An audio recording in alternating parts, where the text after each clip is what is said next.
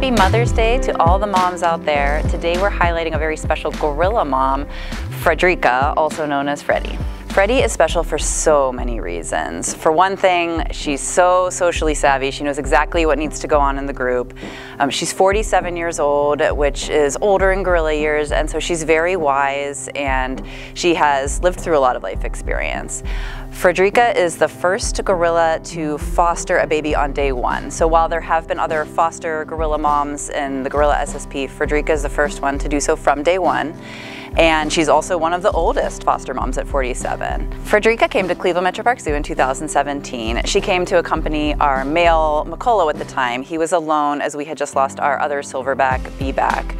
And Frederica was actually alone at Zoo Miami, so she needed a social companionship and so did Mokolo. She's lived in a variety of family groups and she really knows what needs to happen in a gorilla group.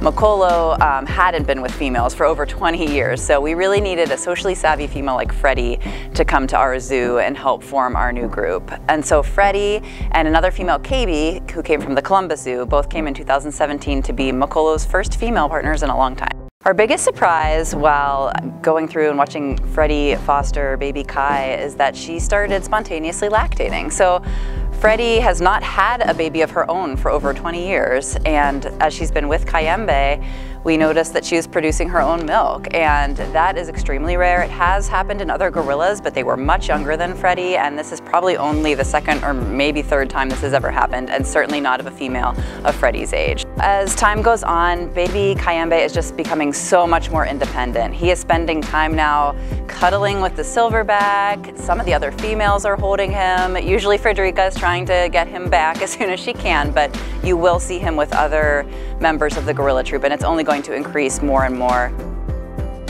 Come out to Cleveland Metroparks Zoo and come witness the amazing bond between Frederica and Kayembe for yourself.